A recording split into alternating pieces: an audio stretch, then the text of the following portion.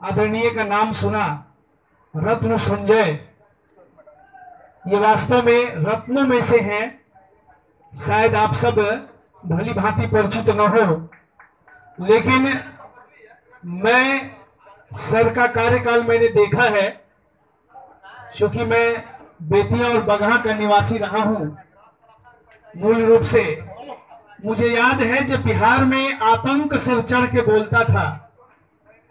जब आज हम ध्यान साधना की बात कर रहे थे उस जंगल में, वाल्मीकि नगर, वो कभी दस्यु सरगना का वो क्षेत्र हुआ करता था और दिन में 12 बजे दिन में जाना मुश्किल काम था।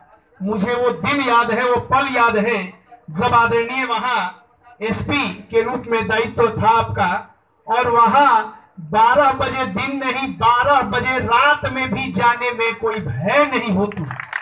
होता था, ऐसा स्वरूप इन्होंने प्रदान किया। मैं इनके कर्मठता का पुरुषार्थ को मैं नमन और वंदन करता हूँ।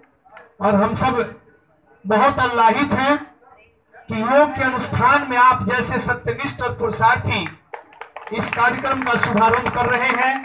हम सब पूरे पतंजलि परिवार की ओर से, योग सोसाइटी की ओर से आपका हार्दिक अभिनंदन और वंदन करते हैं।